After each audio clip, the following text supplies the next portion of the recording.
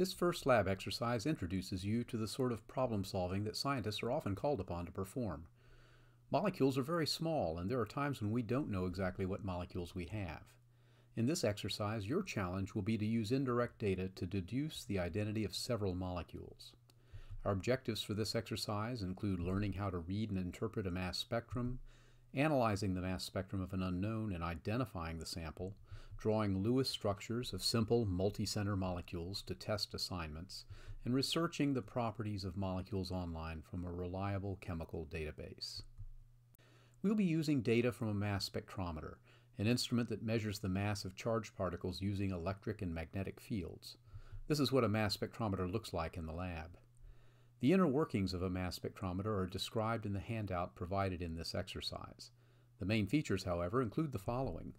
When a sample enters the mass spectrometer, it is bombarded with an electric discharge that serves to knock an electron off each of its molecules, creating positive ions. This process is very violent, adding lots of energy to the molecule, and this can cause it to break into fragments. The spectrometer then uses electric fields to accelerate the charged ions and a magnetic field to separate fragments of different mass.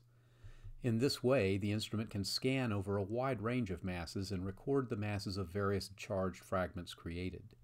The result is a graph like this one for propene. Note that the horizontal axis represents increasing mass, so each line drawn represents a signal from a fragment having a different mass. The height of each line, or peak, tells us the relative abundance of that charged fragment. A skilled technician can read this graph and identify the molecule purely from this pattern of lines.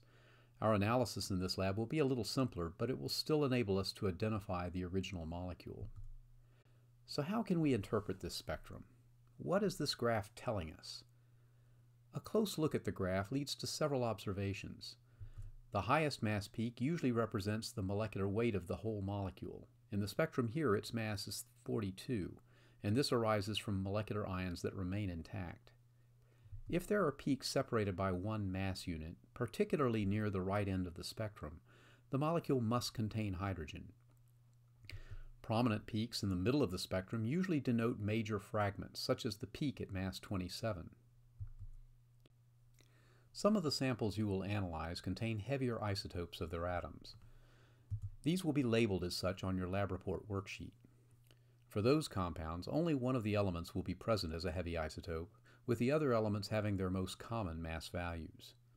A list of the possible isotopes you may encounter is given in the background information and is also shown here. The most common mass value is the first one listed in each case. All compounds in this exercise will be made from this small handful of isotopes. The easiest heavy isotope to recognize is the hydrogen isotope with mass 2, also called deuterium.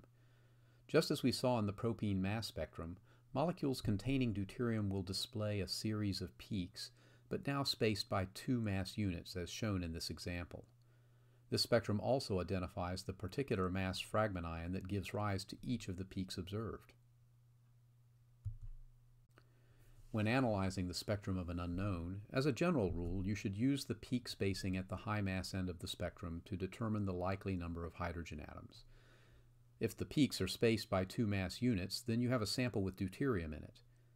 In the spectrum shown here, the peaks are separated by one mass unit, indicating hydrogen, not deuterium, and there are six of them identified here. Next, you would find the total mass of the heavier atoms in the molecule by subtracting the mass of the hydrogen atoms from the total mass. Here, that would give us a total mass of 36. There are only a couple of possible combinations of heavier atoms that can be combined to add up to 36. We can either have three carbon atoms of mass 12 or two oxygen atoms of mass 18, one of its heavy isotopes. To differentiate between these two possibilities, you would next determine whether one can draw a legitimate Lewis structure using each combination. For the oxygen 18 atom, since they must be bonded to each other, it leaves only two positions available to attach hydrogen atoms. But we actually have six of them. When we connect three carbon atoms, however, there are a total of eight vacant positions to accommodate the six hydrogen atoms. This can be resolved by forming a double bond between two of the carbons as shown. Finally, we examine the fragmentation pattern to see if it supports the assignment of this molecule. The most prominent fragment peak has a mass of 27. and that fragment evidently has a couple of hydrogen atoms attached to it, so it could represent a fragment with two carbon atoms and three hydrogen atoms. Indeed, we can imagine the ionization process breaking the carbon-carbon single bond in propene, leading to a C2H3 fragment with mass 27. It will not always be the case that the fragments represent the breaking of a single bond, but when you can identify them, it provides additional reassurance about your assignment. We can think of this exercise as a number game, in which we can only use certain numbers to add up to a total mass. But these are also constrained by the possible Lewis structures that we can construct given the bonding capacities of the elements. So really this lab poses several riddles that each team must solve using the limited information found in a mass spectrum. The analysis procedure is spelled out in the lab background and instructions document. It includes analyzing four unknown samples, looking up the molecules you assign in a molecular database called PubChem, completing the information requested on the Lab 1 report worksheet, and answering the post-analysis questions. When you've finished this and submitted the report, each team member should complete the lab review quiz within 24 hours. Good luck, and please let me know if you have questions or run into a roadblock in your analysis.